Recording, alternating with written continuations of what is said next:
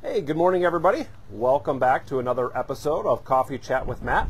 We're here at Wasco Nursery, and we have a beautiful weekend uh, ahead of us here. The sun is shining, and uh, there's a nice cool breeze right now. It's supposed to get a little warmer today, but uh, we finally got a little rain. Uh, we'd certainly love quite a bit more rain, um, but we're uh, we're thankful for what we got uh, here on Thursday.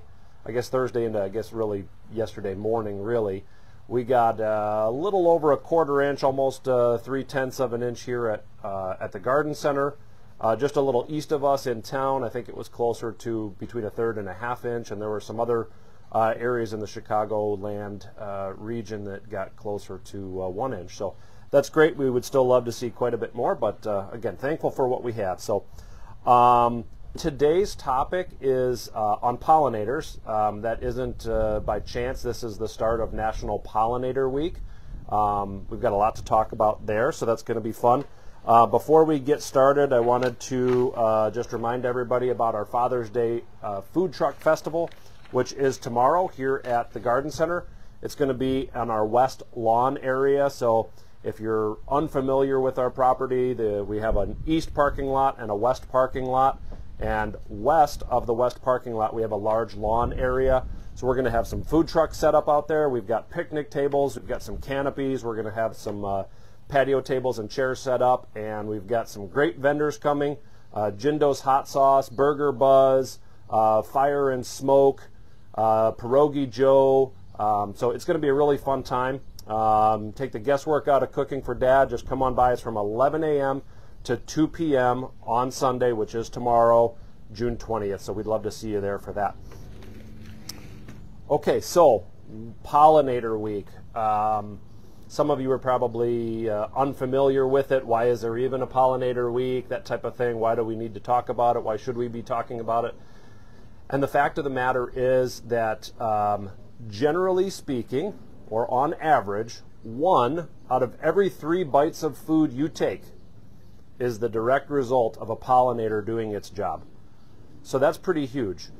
Up to 85% of our food crops require a pollinator to do their job in order for that crop um, to, you know, to develop.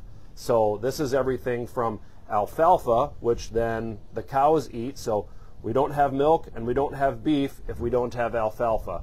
Uh, almost all of your fruit that you're eating uh, maybe for breakfast even this morning. You know, maybe you have a banana, maybe you have a bowl of uh, blackberries or raspberries or something like that. All of that is the direct result of a pollinator doing its job. So it's really important that we talk about it because as uh, the United States in particular, but in the world in general, as uh, more development happens, as um, you know, natural habitats are lost, we need to try to recreate some of that. Um, you can't recreate all of it, but some of that even right in our home landscape. So uh, we've got some great plants that we're going to talk about that will help you bring pollinating species into your yard, um, which is a fun to watch. You know, we're talking beautiful butterflies, gorgeous moths, hummingbirds, things like that, um, as well as the honeybees and bumblebees and a whole bunch of other things. So when we talk about pollinators, it's not just bees. It is all of those other species. So bats, which uh, we do have around here, but they don't really pollinate around here. But bats uh, do pollinate a lot of our fruit. So things like uh, avocados and bananas and guava and mango, all of those kind of things are pollinated by bats, uh, as well as uh, some other uh, insects. Um, so bats are a pollinator. hummingbirds, there are quite a few beetle species that are pollinators. Uh, some plants like the uh, pawpaw trees that I have at home. So pawpaw forms a really interesting um, fruit about this long. It's green and the inside is yellow and it tastes like banana custard. Um, it's a native plant species in Illinois, but the pawpaw is pollinated by a fly. The flowers are very small. They come out in the um, mid-springtime and they smell like rotting flesh. And you're like, well, that's kind of gross. It's at the back of my yard, so I don't ever smell it. But a lot of plants uh, mimic the smell of rotting flesh to attract flies. Um, so they'll, they'll attract flies to them, and the flies do the pollinating job. Some things are going to be more sweet, and those are going to attract things like the honeybees, bumble, the eastern bumblebee, uh, and hummingbirds. And then, of course, we have our uh, butterfly group and our moth group. So all of those combine to be the category that we call pollinators, um, and that's what we're talking about today. So uh, how can we bring them to our yard, and then how can we just help them out so that you you know if we've got uh, uh, maybe a, a nature preserve or something over here and another one over here, how can we connect that? So part of it is is if you know if each of us does our job and we bring pollinating uh, plant you know plants that pollinators are going to love into our landscape, now we're creating corridors, uh, corridors for getting from uh, this forest preserve over here in DuPage County to this forest preserve over here in Kane County, or this prairie on the north side of Kane County and this prairie on the south side of Kane County, that type of thing. So that's sort of the goal there, um, as well as just providing uh, habitat for these uh, for these pollinating species. So. Um, First of all, if you are trying to uh, attract pollinating species to your landscape, um, you want to think about three basic things. And it's the same thing that all of us, doesn't matter what kind of, uh, of animal you are, you need food, you need shelter, and you need water. Those are the three basic elements for life, uh, and we need to provide each of those to get pollinating species into our yard. So in terms of water, obviously water is scarce this year, so there's a lot of things that you can do. Um, you can just put out a bowl of water. I mean, just something as simple as that, putting a small bowl of water out somewhere in the landscape, uh, you know, a shallow bowl. Don't leave it out there um, uh, to get, you know, algae and nasty and gross. You know, they want clean water, of course, just like we do. We want clean water. So change it out. Just something as simple as that is a great way to do it. You could put in a water feature. We have all sorts of little uh, recirculating water features, so they don't require plumbing. They're very uh, energy efficient and water efficient because they're recirculating the same water. So at home in the front of my house, I have a handful of uh, basalt, which is a type of stone. I've got a few basalt columns. They were cored out, just drilled out through the center. They sit on a basin. There's a pump down inside the basin, and it just recirculates the same water. So I have this beautiful uh, water feature. The water bubbles up out of the top. It's nice and clean. It goes down through a little bed of gravel before it gets back to the filter, and that bed of gravel sort of, or uh, before it gets to the pump, and so that bed of gravel acts like a natural filter, cleaning out the uh, water of debris and things like that. So the birds love it, the dragonflies love it, uh, the wasps are over there drinking out of it. So I see all sorts of species. Uh, even the squirrels will go over there and drink out of it. So provide clean water. That's number one. Provide shelter. So when we think about shelter, it can be it can be all sorts of things. So if we're talking about the pollinating species, you know the the hummingbirds and other uh, uh, birds, bats, things like that, uh, providing habitat such as uh, trees for them to nest in or roost in, depending upon what they are. That's going to be helpful. So you could put up a bat house, you can put up bird houses, you can uh, plant uh, specifically densely branched trees like hawthorn, spruce trees, arborvitae, things like that, that that the birds can nest in. Those would be one example of providing good habitat. Uh, habitat for some other wildlife might mean a pile of branches in the backyard for something like a fox to get underneath. But in terms of this talk, we're talking about pollinating species. So uh, providing cover for the for the uh, birds and moths and things like that is great.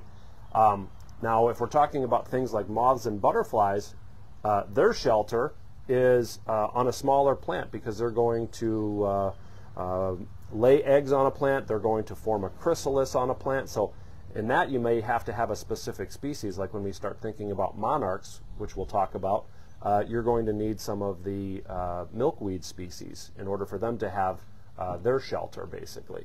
Um, so we've got water, we've got shelter, and then, of course, we all need to eat. The pollinators need to eat, and that's the purpose of today's talk, is to talk about species that you can plant in your yard to uh, benefit and or attract pollinating species. So um, I have probably way more plants than uh, than we can talk about today. I've felt a little bit like I was at the buffet and my you know my appetite was this big, but I could only eat so much.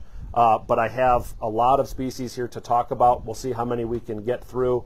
Uh, I'll probably go fairly fast through them because I do have a lot of them to cover. Um, today I'm only going to talk about uh, herbaceous perennials. So uh, these are plants that come up in the springtime They're going to flower throughout, whether depending upon the species in the spring, in the summer, or in the late summer. Uh, they will flower and then they will die to the ground but come back next year. So those are herbaceous perennials. There are also a lot of uh, shrubs that we can be planting to attract pollinators to our yard. We're actually going to talk about those next week. So today is just the herbaceous perennials. Um, I don't uh, have any uh, order necessarily to uh, to the plants that I'll talk about. However, if you aren't already a member of our VIG club, which stands for Very Important Gardener, um, it's not really much of a club so much as it is a uh, um, an e-newsletter that we send out via email. We don't sell it uh, your email address to anybody else. Uh, we don't send out emails, uh, you know, three, five times a week like some uh, big national brands and things like that. So you're going to get an email from us periodically if you sign up for that VIG newsletter uh, on our website, wasconursery.com. We'll actually give you a $5 off coupon for your next purchase. Um, but uh, we will this week be sending out um, an email, and it's going to be in reference to pollinators, and it's going to have a, a breakdown based on the time of year. So if you're looking for pollinating species for earlier in the season, uh, that'll that'll be broken down late uh, late spring, early summer, midsummer, late summer, early fall, that type of thing. So it's going to be broken down in that way. So you'll have a nice little list there that you can get. So uh, you could sign up for that at our website. We also um, have a, uh, some handouts here. This is just a, um, a handout called Recommended Natives for the Garden and Landscape. It was put together by our friends over at Natural Garden Natives, which is one of our uh, favorite plant suppliers of native plant material. They're local ecotype, so all of this is seed grown, seed collected within like a 250 mile radius of our area. So it's great. Um, they grow wonderful plants, and uh, we're happy to have them here. But this is a wonderful brochure on recommended native plant material that is we'll just call it a little more well behaved because some plant material in the in the prairies and, and in the wild areas really can go rogue. It can reseed itself a lot. Um, so these are some of the more uh, landscape friendly plants that you can use. Um, there will be some little asterisk, asterisks by some of the plants, and you'll notice that some of them will say will spread by seed or rhizomes, but is not overly aggressive. Will reseed and or spread more aggressively, but if you cut back the seeds before they mature on the plant, uh, the, those seeds won't be dispersed. And then some other ones are just spring ephemerals, which means that they come up in the spring, they're there for a very short period of time, and then they go away or go dormant uh, for the summer months. So those are kind of denoted on there. So it's a really good resource. You can come in here and we'll hand those out to you. We also will be posting um, a few resources uh, from uh, pollinator.org and from Natural Garden, Resor- uh, Natural Garden Natives. So those resources will be posted uh, in that email that we send out. We'll also try to get those posted on uh, Facebook here. Uh, so if you're unfamiliar with pollinator.org, it's a great website. Uh, you could go on there. You can type in your zip code. It'll tell you, you know, um, a little bit more about what your area or our area used to look like uh, before settlement, plants that should be here, plants that you can be using in your landscape, that type of thing. So um, it's really neat. There's also a lot of other great resources on there, especially if you have a little larger property. So, all right, let's talk about plants. We'll just talk about the ones that are up here in front of us now, and then we'll change these out. This is uh, a salvia right here, um, Salvia nemorosa. Uh, this one is called Marcus. It's a short salvia. We have probably 20 different flavors of salvia back there. This one happens to be very short, which I like. Um, so some salvia tend to look like a cat sat on them. This one does not. Uh, this one blooms and stays nice and tight and sturdy. Uh, as soon as they're done blooming, I take the entire plant, I grab it like this, and I just cut off all of those uh, dried flowers, and then it'll throw out a second set of blooms, and a third, and a fourth, and a fifth. So these will pretty much bloom all season long. This has been blooming, uh, this particular plant right here for sure has been blooming since uh, early May and is still blooming beautifully. So that's Marcus salvia, gets about maybe eight inches tall, full sun. We'll be talking quite a bit about some uh, native plant material. Like I mentioned, Natural Garden Natives is our uh, native plant supplier. So these are grown right here in St. Charles. Uh, just right down the street from us is their uh, native plant production facility. So uh, we're very fortunate to have them right here in our backyard. Um, This particular plant is one of my absolute favorites. I have a ton of this at home. This is called common spiderwort, or you'll also see it listed as Ohio spiderwort. Um, this plant is really neat. Each of these flowers last exactly one day, uh, and they're only open during the day. So at night, they're gone, they're closed, there's nothing there, and then the next day, you're going to get more flowers. Beautiful uh, purple, sort of triangular shaped or square shaped flowers, really neat. Um, little yellow centers. Uh, the the bees absolutely love these. They're always on them. The honeybees as well as the eastern bumblebee. I see those on these a lot at home. If you're looking for hummingbirds in your yard, um, I would uh, for sure recommend this plant right here. This this one is called uh, this is a cardinal flower called black truffle, but you can use any of the cardinal flowers if you're trying to attract hummingbird species uh, to your yard. We only basically have the one ruby-throated hummingbird around here. If you go west of the Mississippi, or, or I think maybe even uh, a little further than that, you'll find uh, they have about 30 different species of hummingbirds out there. We only have basically the one um, here, ruby-throated, but uh, they're beautiful and they're fun to, to watch.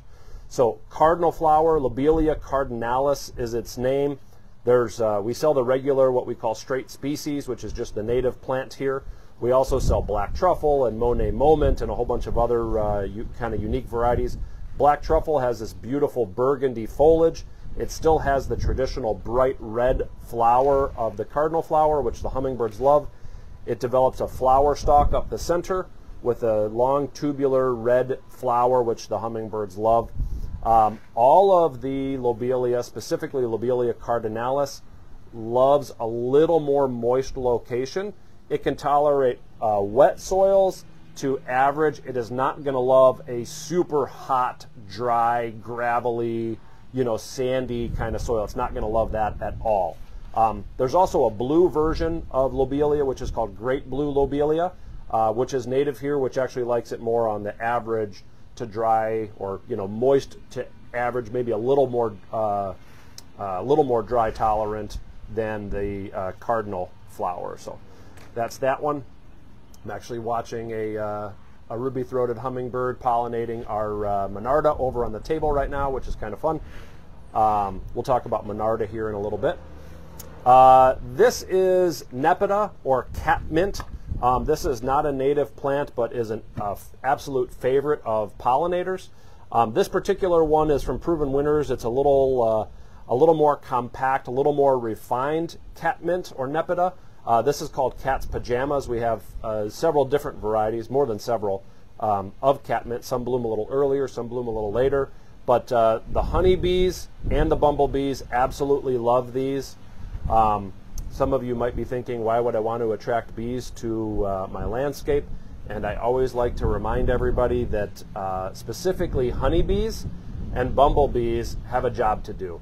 They are pollinating species. They are, uh, collecting uh, pollen to take back to their hive. They obviously, in the case of honeybees, will create honey, but they have a job to do. They are not aggressive insects at all. Um, I actually happen to be allergic to bees. Some of you may have heard me mention that before. I uh, consistently will be around plant material, as you can guess. There are bees all over it. I am not worried about those. I don't like the yellow jackets when they start coming around um, because they are aggressive, but but the honeybees and bumblebees are not going to bother you if you don't bother them. So, you know, a lot of times we'll even have bumblebees uh, or honeybees on these plants and we'll be carrying them around and they'll visit it as we're walking, that type of thing. So, really isn't an issue there. I suppose I could probably grab a couple of the other. This is um, this is a milkweed right here called butterfly weed. Uh, one of my absolute favorites. So you can see those brilliant orange colored flowers. Uh, the monarchs absolutely love this, as do most of the other butterflies in our area. So butterfly weed will get about 20, 28 inches tall. It likes a drier soil. Um, so a well-drained soil is great. Average soil is great. If you have a real heavy clay uh, and it doesn't drain very well, you may uh, develop some root rot on the plant. So when I have people lose the plant over the winter, it generally has to do with root rot. Um, I generally plant these, water them very, very sparingly, and then let it go. And uh, they are they're actually once they get themselves established are very fast growing. Uh, they bloom for a long time, and they have these brilliant orange flowers. This is both a food source for the adult monarch, so the, the butterfly itself will land on here and feed on the uh, on the pollen and nectar, uh, and then the they will they can lay eggs, and the eggs can hatch, and the caterpillar, the larva of the butterfly, can feed on the foliage. So interestingly enough, the adult can feed the adult monarch can feed on all sorts of species. So it could visit. Um, uh, uh, a monarda. It can visit um, a butterfly plant, like a um, butterfly bush. It can visit all sorts of other things. But the larva can only survive on the Asclepias family, which is the uh, which is the milkweed family. Uh, it cannot lay eggs and survive on any other plant species in the world. So Asclepias is very, very critical to the success of the monarch population. So butterfly weed, common milkweed, swamp milkweed, all of those. I'll show you a few of the others real quick if I can find them on my cart.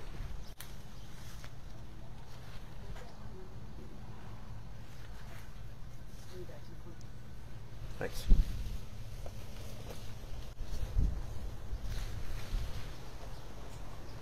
I found a couple of the others. I'm not uh, so this is swamp milkweed or rose milkweed right here. So swamp milkweed, as the name suggests, can tolerate a more moist or wet location, unlike the uh, common milkweed, which I don't have a sample of right here, but we do have in stock. I think I have one on my cart somewhere. Um, common milkweed likes it very dry. Whorled milkweed, which is this one right here, which has this really cool ferny textured foliage, that likes it on the dry side. Uh, and then the butterfly weed likes it on the dry side.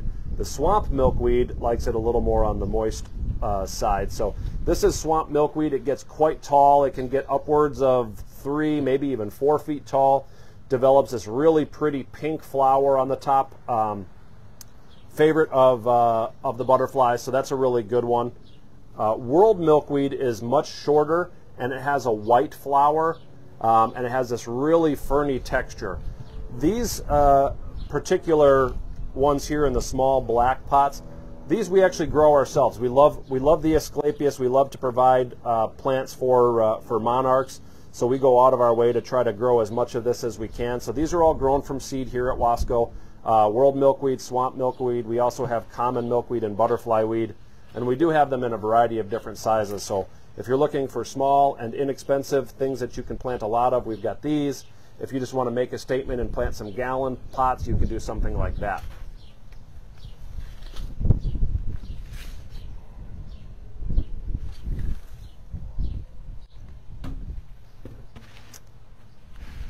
This is probably one of my uh, favorite perennials here for the home landscape. This is an allium or what's called a summer blooming onion. This particular one is uh, called Millennium, but we have a bunch of different varieties. They are very, very similar. They all have these purple, kind of golf ball sized flowers. Millennium tends to be a little darker purple than some of the others. Some of them are a little uh, more bluey or whitish purple. Uh, they all bloom very heavily starting right about now. They're just getting ready to bloom. In fact, this flower isn't even fully open, but there's lots of buds on here. They have this really nice dark green foliage, uh, sort of grass-like in texture, has a little curve to it forms a nice mound. Uh, rabbits and deer don't like them, which is great, uh, but the um, butterflies and the bees absolutely love these, uh, and they will bloom for quite a while. Um, this is Millennium. We have Peekaboo and Summer Beauty and Serendipity, which has kind of a bluish colored foliage. Uh, Medusa, which has a really cool twisty stem to it. So all of them are great. They're all very easy to grow. Most of them are quite short. So they're a great foreground or border plant, uh, and they like full sun.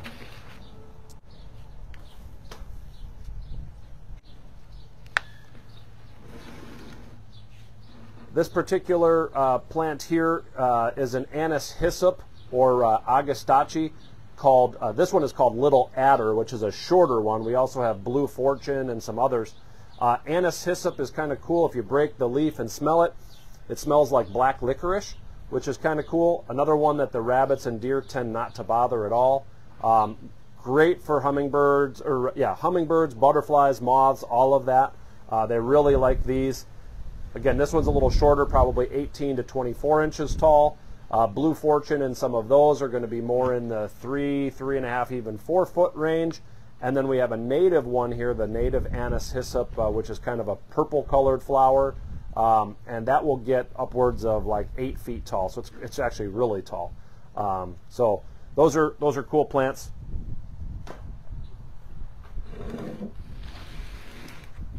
This is a uh, Liatris or shooting star. This particular one is called Cobalt. Um, Cobalt is a, uh, a selection um, that is a little shorter than the native species here. So uh, Liatris spicata, the shooting star, can the native one, which we have on the uh, in on the table over there, will get around four feet tall. This particular one will be more in the 24 to 30 inch range or so, maybe a touch taller. Beautiful flowers, uh, bright purple, just getting ready to bloom. And then now these are going to bloom for uh, probably another eight weeks or so. So really interesting purple fuzzy flowers. The butterflies absolutely love them. Uh, has really cool foliage. So that's cobalt.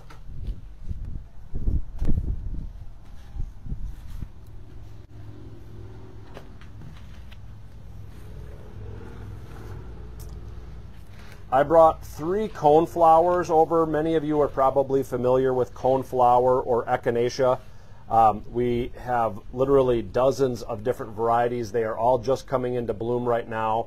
And uh, there are so many unique varieties of echinacea.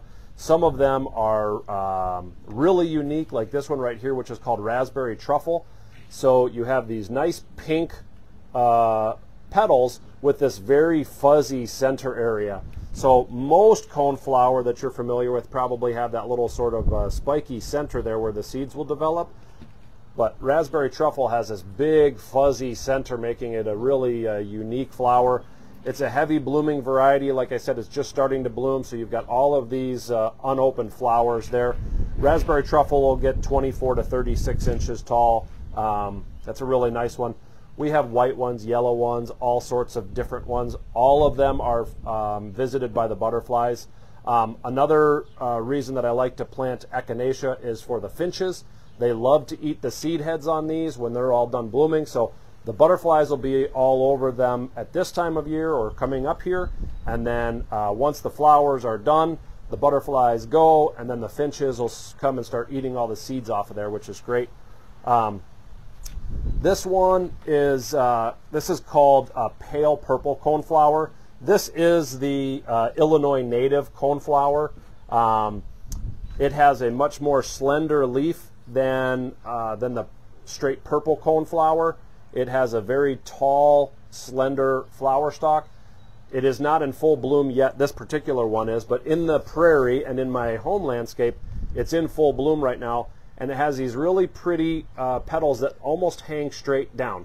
Uh, so that's pale purple coneflower. It gets quite tall, uh, maybe 36 inches high or so. Very easy to grow, Perversa dry soil, is exceptionally drought tolerant once established. The root system on this will go down several feet, which makes it a very, very drought tolerant plant. Most of our Illinois natives tend to be very drought tolerant. So if you're looking for things that can survive the heat and drought, things like that, look at our Natural Garden Native selection because those are great.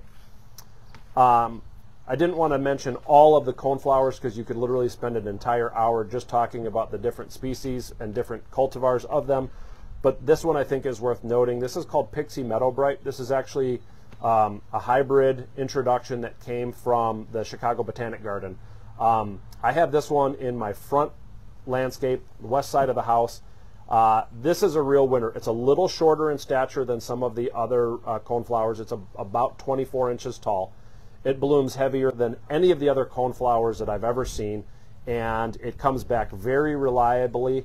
Um, really, really a nice plant. Very bushy, very heavy flowering. The finches love the seed. The butterflies are all over the flowers. So that's called Pixie Meadowbrite. It's actually a cross between our native uh, coneflower and a coneflower that's native to like the Tennessee uh, area uh, Tennessee and Kentucky. So they hybridized it or crossed those two. Really a nice one. So that's Pixie Meadowbrite.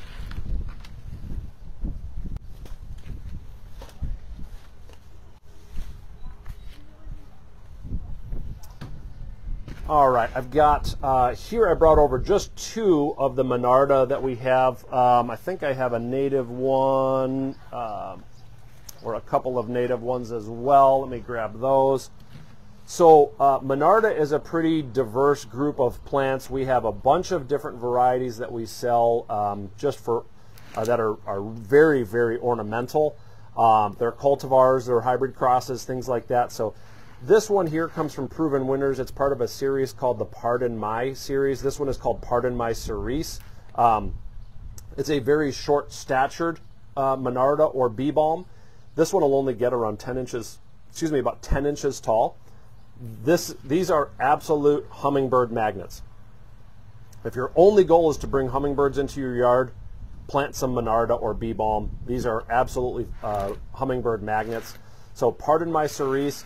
This one I really like. This is kind of a uh, basically this is a native selection. So it's a native plant. It wasn't hybridized with anything. It was just selected for its heavy flowering, uh, fuller, uh, fuller plant. So it's something that uh, basically someone said, hey, this is this is going to be a little better in the home landscape than some of the straight native varieties. But it was a selection. It means someone found a seed-grown plant that they noticed this is a little different than all of the other native seed grown plants in the in the prairie. This one tends to be a little more compact. It tends to flower a little heavier, things like that.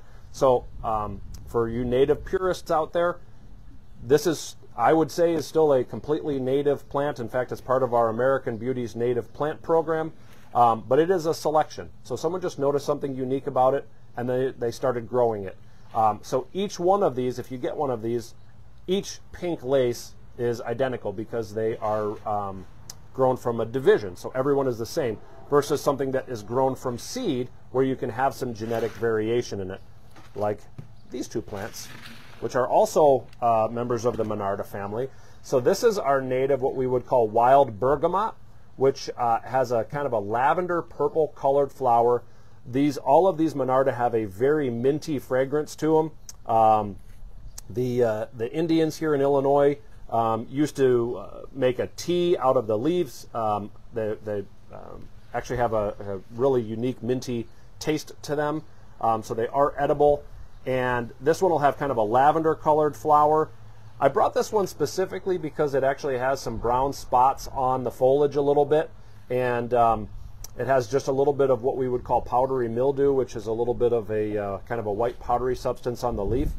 And I brought that for a specific reason. You know, a lot of our native plants, but even our non-native plants, plants get issues just like humans. You know, we all have something wrong with us somewhere along the lines, and so do plants. They're not they're not perfect. They're not going to be perfect, um, but that's okay. There's nothing wrong with this plant.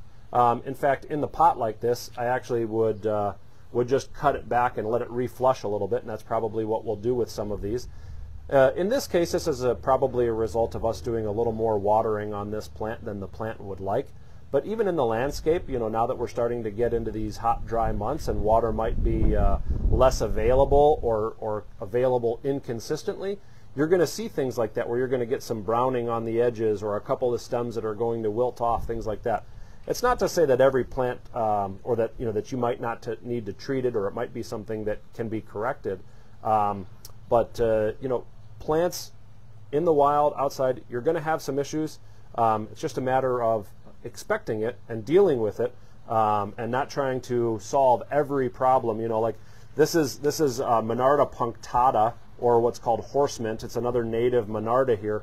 Beautiful white flowers, still has the fragrance. The flowers are really unique. They kind of have like a whitish, pinkish color to them. They're different than the other uh, Monardas, uh, almost like a it's not, but it almost looks like a cross between a coneflower and a monarda or a, or a bee balm rather.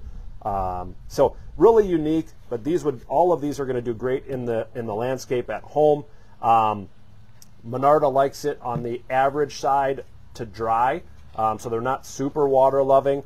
Um, they are surprisingly shade tolerant, so they would prefer full sun, but are surprisingly shade tolerant. So um, I, at home, I've got some where uh, some trees have kind of hung over and, and shaded the bed, and the Monarda has kind of it, uh, worked its way in there. It still blooms very well in part to mostly shade or a lot of filtered uh, shade, and it blooms very well in the full sun in my yard. So I have a ton of it at home. Um, it does range a little bit. It'll grow underground via rhizomes.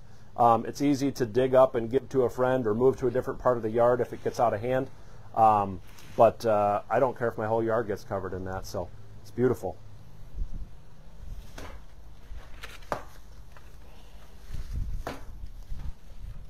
All right, moving right along here. I didn't bring uh, too many plants since we are just talking about shade. I didn't bring too many plants for the shade, but here's a couple. Um, this is an astilbe or what's called a false spirea. I prefer the term uh, astilbe because there's many other plants that also have the name common name of false spirea. Um, but this one is called Vision. Um, astilbe is not very drought tolerant. Um, it likes consistent moisture, and uh, so a lot of people have tried to astilbe and failed because the ground is too dry where they planted in the dry shade. Uh, Vision astilbe is a much more robust astilbe. It can tolerate a drier soil. The flowers are absolutely gorgeous. Um, I love this big fuzzy flower. It is very vibrant. There are many other colors available. Even in the Vision series, there's Vision in red, Vision in white. So if you're looking for a different color other than this sort of pinky uh, purple color, uh, you can get that and still have the nice robust plant. Um, if you do have a more consistent moisture in the ground, you can choose any of the astilbe. Uh, but both butterflies and moths absolutely love astilbe.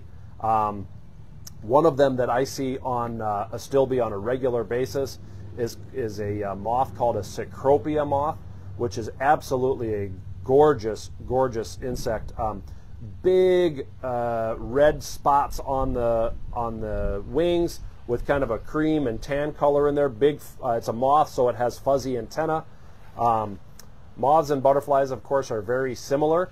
Um, moths, when they're resting their wings, their wings will be open. Butterflies, when they're resting their wings, their wings will be closed and they will be uh, kind of upright.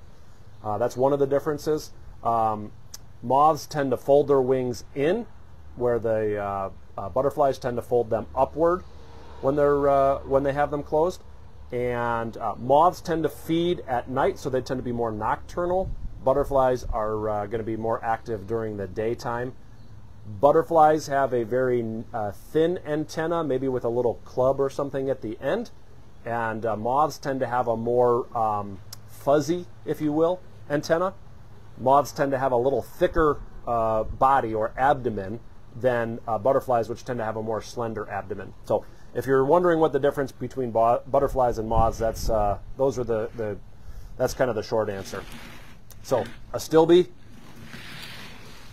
Uh, people don't commonly think of hostas as a pollinator-friendly plant, but they are. The butter or the uh, bumblebees absolutely love hosta flowers, as do uh, some of the hummingbirds. Um, some hostas don't really have beautiful flowers. Some of them I just reach in there and cut the flower stalk off. They, uh, they're, they're not pretty. They don't last real long. Some of them are gorgeous.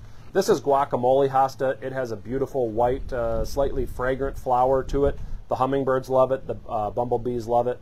Um, so I really like that. Stained glass is another good one. Uh, cathedral windows. Um, some of them are purple, some are white, but they really, some of them have really beautiful flowers. So um, hostas obviously are great for shade and easy to grow.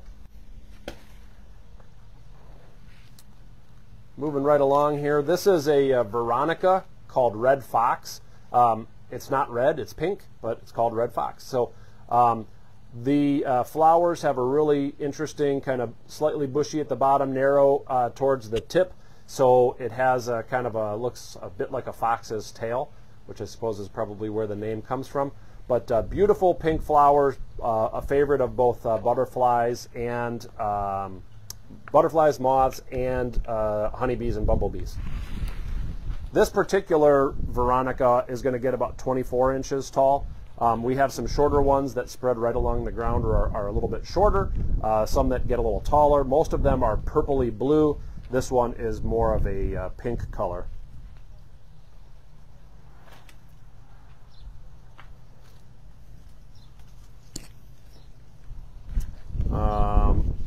Showed you a couple of shade plants. This is actually a, uh, a shade to part sun native uh, sedum. We don't normally think of sedum as being native in Illinois.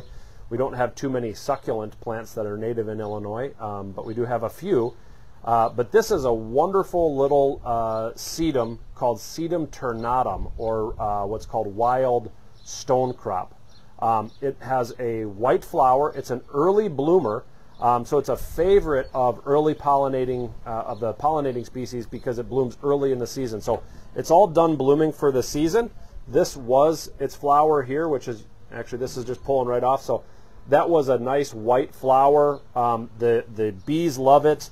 Um, they're all over it in the springtime. It's a ground cover. Um, you can plant it in rocky, dry areas. You can use it uh, underneath other larger shrubs and perennial species as a ground cover. Um, it, like I said, it, generally we think of sedum as a sunny plant, but this is actually a shade-loving uh, native sedum.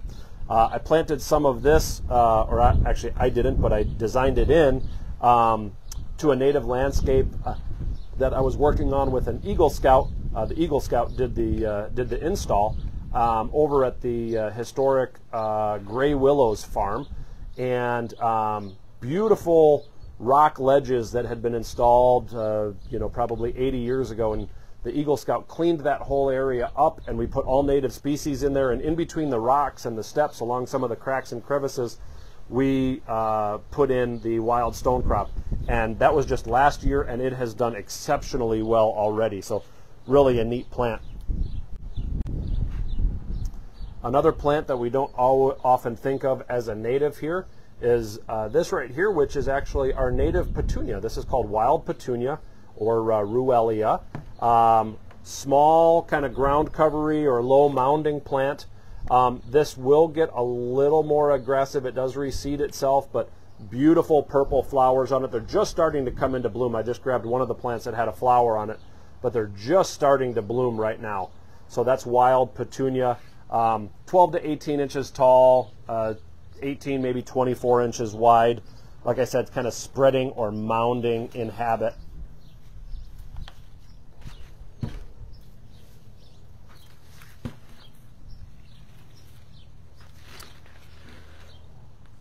going to grab a few plants here that are going to be, we can kind of use these all sort of in the same grouping um, in terms of, these are all later blooming, um, later blooming native plants that uh, are just wonderful for any landscape. This is one of my favorite plants. This is called compass plant. Um, it is a member of the Silphium family and uh, uh, or Silphium genus, I should more specifically say. So, uh, Silphium includes um, the uh, prairie dock and the cup plant. I've got a cup plant. We'll talk about that, uh, as well as rosin weed.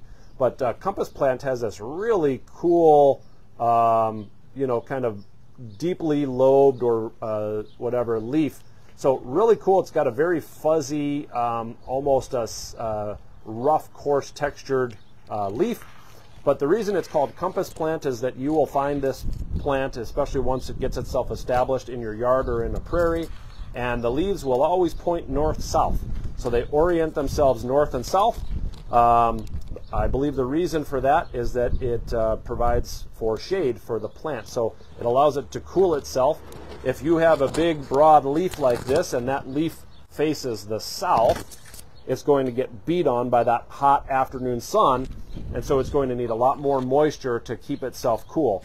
So when that leaf turns itself or orients itself north-south, at the heat of the day, the sun is only catching a tiny little bit of the leaf and is not uh, shining on the broad section of the leaf and thereby cooling itself.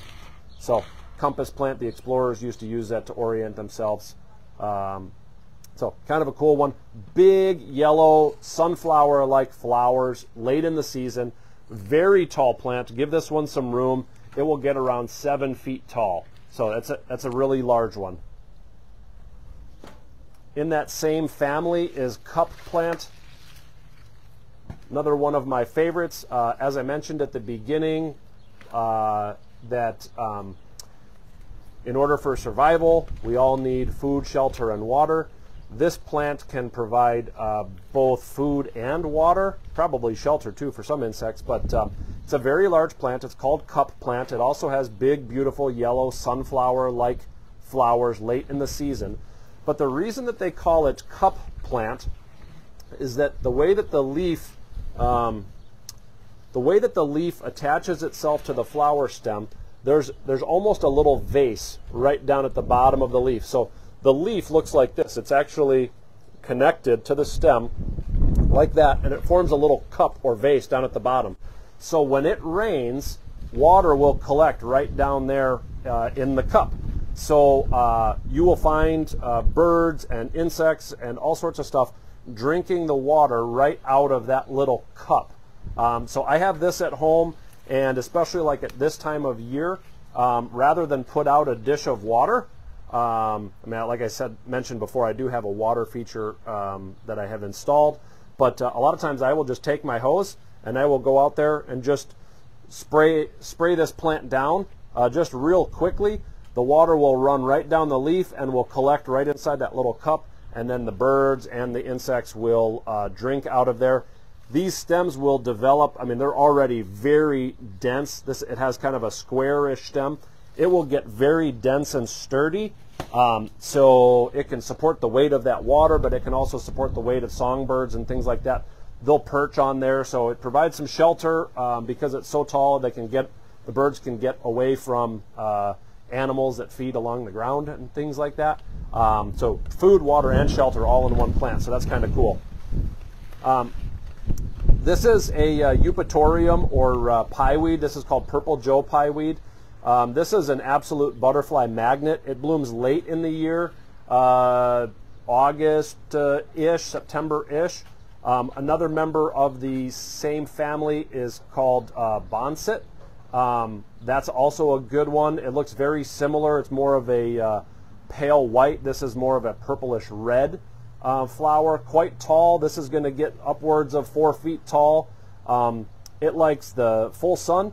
Um, it, could, it could even get even taller. The purple Joe Pye weed could get up to like six feet high. Um, uh, Boneset can take a little more shade. Purple Joe Pye weed would like more sun. Um, so that's a really cool one.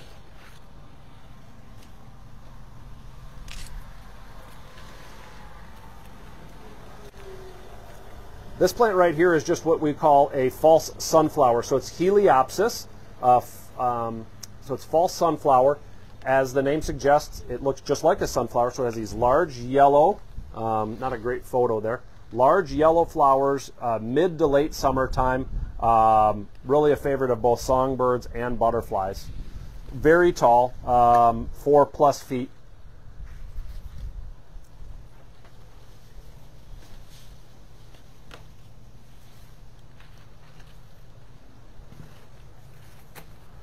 This is a, uh, a goldenrod uh, called stiff goldenrod. Um, very tall plant. Uh, this is a very late blooming plant, so September-ish time frame, um, maybe late August, and then all of September. Very large yellow flowers, kind of flat top, so not like you'd normally think of goldenrod being sort of a long stringy flower. This is going to be more of a round flower that sits up top of the plant. It is a very tall, very sturdy plant, as the name suggests. Um, but this is, like I said, an absolute monarch magnet. The monarchs love these. It's a great source of nectar for them before they start heading south for the winter. Um, so it's a really great plant. It will reseed itself. Um, so it's really easy to find though because it has a pretty unique leaf. This big long leaf here. So if you find it, you can dig it up, you can get rid of it. It does not spread via rhizomes, which are those underground roots that grow. So if you see this popping up in an area where you don't want it, you can dig it up and give it to a friend, uh, or plant it in some other part of the yard, or just discard it. Um, but I believe that the uh, the fact that it reseeds itself um, shouldn't deter you from adding this wonderful plant to your landscape. I also brought a sweet uh, black-eyed Susan here which is uh, many of you are familiar with it. This is our native one. We have uh, all sorts of different black-eyed Susans. There's um, a whole bunch of different varieties. Some stay really short, some are taller, um, but they all have the traditional dark center with the yellow petals all around it. Um, this is probably one of the absolute uh, easiest to grow perennials. Um, it's a staple in our prairies here in, in uh, northern Illinois and a very prolific bloomer too, so it kind of makes it fun.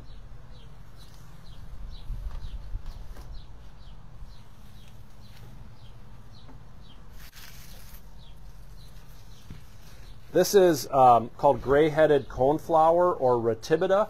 Um, it's just getting ready to bloom, so it's a later summer bloomer. Um, probably another week or maybe no, probably more like two weeks before it starts blooming, uh, and then it'll bloom very heavily for month, month and a half. Uh, taller plant, three to four feet high.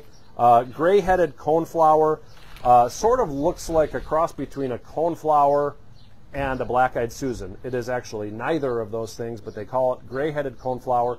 So kind of a grayish brown center with yellow petals that hang downward.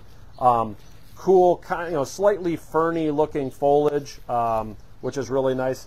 You know, a lot of our native plants um, have a more slender leaf, and uh, slender leafed plants tend to be much more water efficient than large leafed plants. So our large leafed plants, like the compass plant and prairie dock and things like that, like I mentioned, they've developed the ability to, to orient themselves so that they can shade themselves during the day. Um, but a lot of our native plants, like the butterfly weed and things like that, they all have very slender, slender leaves. Um, the pale coneflower that we looked at earlier, excuse me, that slender leaf uses up a lot less water or moisture than big leafed plants do. And so that's why they've been able to develop themselves as drought tolerant here in the in the prairies. Um, also, they uh, most of these plants have a very very deep root system, uh, sometimes going down as far as 10 feet. Uh, so some of these root systems are absolutely incredible. They will go down 10 feet. So at home, I have a little area that I call my micro prairie. Uh, it's it's a uh, all native plant material that I've put in this area and the lawn is it kind of it's bordered by lawn all the way around it it's probably uh, 25 30 feet long by 12 to 15 feet wide sort of a peanut shaped bed and uh, was, the bed was already there when I moved in but I cleaned it all out. It has a brick edging around it which I've left. And the prairie is on the inside and the lawn is on the outside. And the lawn is all turning brown all the way around it because I could care less about my grass. It is turning brown because we are in a drought. My little micro prairie is blooming and green and beautiful, and I don't do a thing to it other than look for invasive species uh, like dandelions and uh, thistles and whatnot, and uh, just try to get rid of those when I see them periodically. That's it. It does not need water. It is established. Even in just a few years, it has developed itself very, very well. So um, our native plants are very well suited to uh, our hot, dry summers.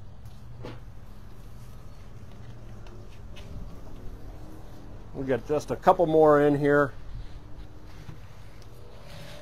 This is uh, a coreopsis called sand coreopsis or uh, coreopsis lanceolata.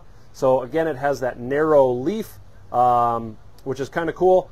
Big, bright yellow flowers. It blooms like crazy. I have this at home. It's in full bloom right now, or it has been at least for uh, two weeks now. Um, very large plant, about 36 plus inches tall. Uh, very bushy, tons of flower stems and a very prolific bloomer. Uh, this would prefer it on the dry side as well, which is great. Uh, as the name suggests, sand coreopsis. It is native to our you know sandier hills and, and some of those types of areas, which we actually do have around here. So that's sand coreopsis. This one, um, it's a it's a tall plant. Uh, this is our native um, beard tongue. It's called foxglove beard tongue or penstemon. It has these beautiful white flowers. It's a favorite of the bumblebees.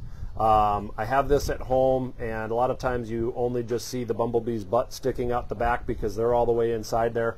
They love it. Um, it's a tall plant. It'll get about 36 to maybe 40 inches tall. It's been blooming for about four-ish weeks right now. Um, average soils to moist-ish soils, so um, not crazy dry, but you do see it all over the prairies, even in very dry. So it is drought tolerant, um, but it does prefer a little more moisture than some of our others. Um, but that's foxglove beard tongue.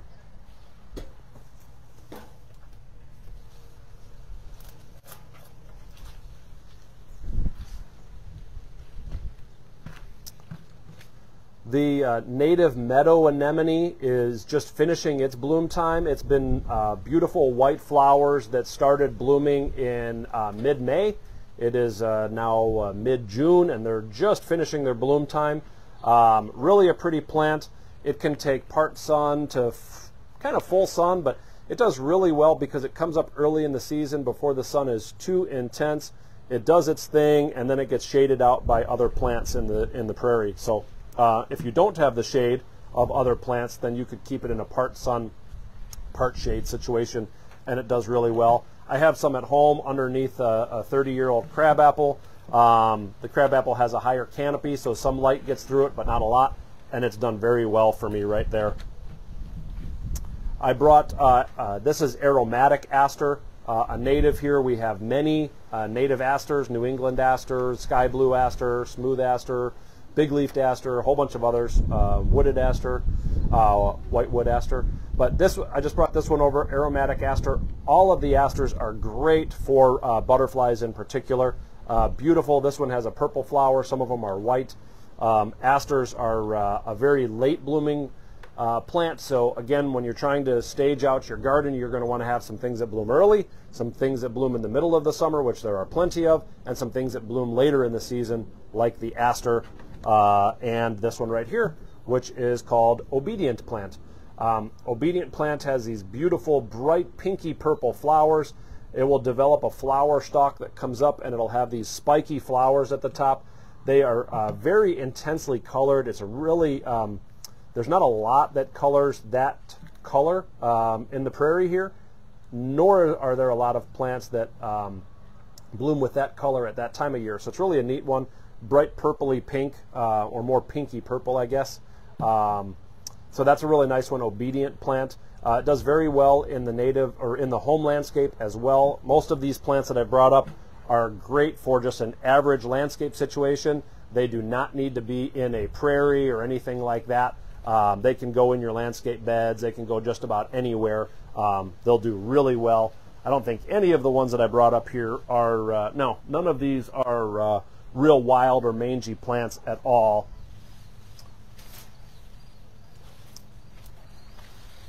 I think I just have two others here for you, and then we will uh, conclude today's talk.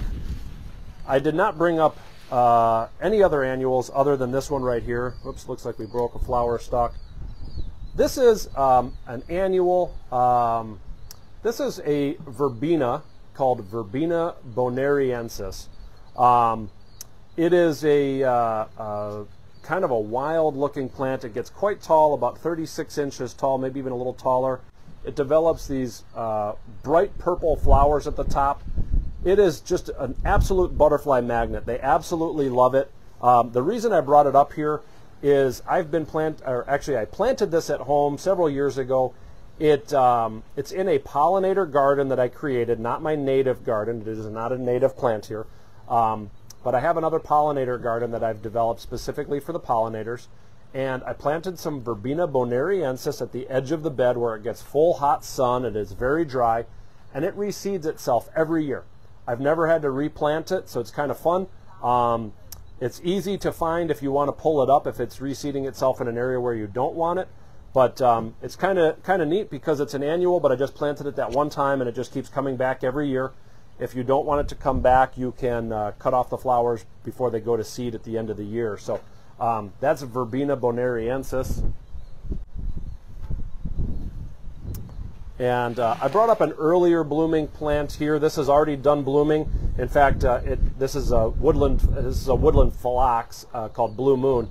Uh, so, as the name suggests, it grows in part shade, woodland situation, maybe at the edge of some other trees, or if you have some older trees that have some light that shines through, you could use the blue woodland phlox. It has a uh, bluish colored flower, um, but it, it's all done blooming for the year. We just cut off the dead flowers, and here we have a beautiful plant again. So it's very nice, um, you know, ready to be planted or sold. Um, but it, it's an early bloom, uh, early blooming plant. So again, uh, a lot of these plants, when they're all done blooming, they don't have to be dead-headed or trimmed back. But if you do want a little more neat appearance, you can go in there, you can take that whole plant with all the spent flowers and just trim it back. So we'll do the same thing with this uh, sand coreopsis that I mentioned before. When this is all done blooming, it'll bloom uh, for probably another month anyway. When it's all done blooming, if we're trying to sell the plant and keep it looking really nice, we'll take the whole thing just like this, no rhyme or reason, just trim it all back like that, just like you're putting your hair in a ponytail, cut it all off, and then just let it grow back. It takes a very short amount of time, and it'll just grow right back. So if you want to keep it neat and tidy, you can do that. Uh, that will also prevent uh, plants that tend to reseed themselves. That will prevent them from reseeding themselves uh, in your in your landscape. So you can do that uh, if you want a more neat and tidy appearance. Uh, otherwise, you just let it go, uh, as I do at home, and um, you know then, like I said, sometimes the birds will feed off of the seeds. Other animals will feed off of the seeds, and you'll have some forage for them later on in the season. And if you're lucky, some of them may reseed themselves and uh, provide uh, more plants uh, for you or for your friends or neighbors. So um, that was probably a lot like drinking water from a fire hose. Um, like I said, there's a million plants we could talk about. Probably could have just had five more carts up here and just spent the whole day talking about other species, um, but that would get uh, very boring for you, I'm quite sure. But I brought up a lot of plants. Um, certainly, some of these you can find a good home for in your landscape. Um, as always, if you have any questions, come on in, ask us. We'll help you find the right plant for the right spot. That's what we do. Um, we're going to be posting some resources uh, on Facebook. But uh, again, if you're not already a member of our uh, VIG newsletter, just go right to our website, wasconursery.com. I think you can scroll all the way to the bottom and uh, just says like sign up for our newsletter. It says I think there is a little VIG thing, but just says sign up for our newsletter. Sign up, like I said, we'll send you a five dollar coupon. Um, but we'd love to uh, send you some of these resources. Like I said, we are not going to uh, uh, flood your inbox with uh, with emails on a regular basis. It's um, or on a daily basis or anything like that. Um, so do that. One last plug for our food truck festival tomorrow, Sunday, June twentieth, uh, in our uh, West Lawn area. We will have some great food trucks and fun we'll take care of. There's going to be lots of tables and other stuff set up. You can also bring your own lawn chairs. You can bring a, a blanket and set up a picnic area, whatever you want to do. Uh, it's come and go as you please. There's no uh, no set agenda or anything like that. 11 a.m. to 2 p.m. Uh, Sunday is our first ever food truck festival, so we hope you'll join us for that. Thanks again for watching. As always, we're here seven days a week. If you have any questions, we're here to help. See you next time.